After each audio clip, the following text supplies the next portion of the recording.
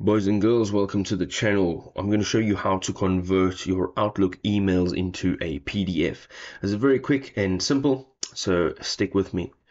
The first thing you want to do is open the email that you would like to convert. So let us double click on the email. Now, once you've done so, you're going to go up to the top left hand side and look for File.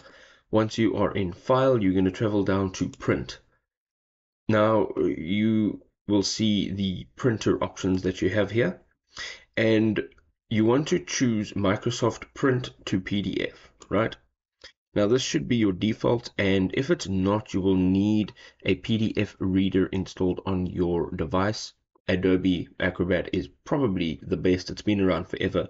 And what will happen is once you tap on print, you will now have the option to save that document. Okay, so all you need to do is then save the name. And over here you can see it says save as type and it's as PDF you can go ahead choose your location and tap on save and there you go. You've got an Outlook email straight into PDF if this was helpful drop us a like and we'll see you next time. Peace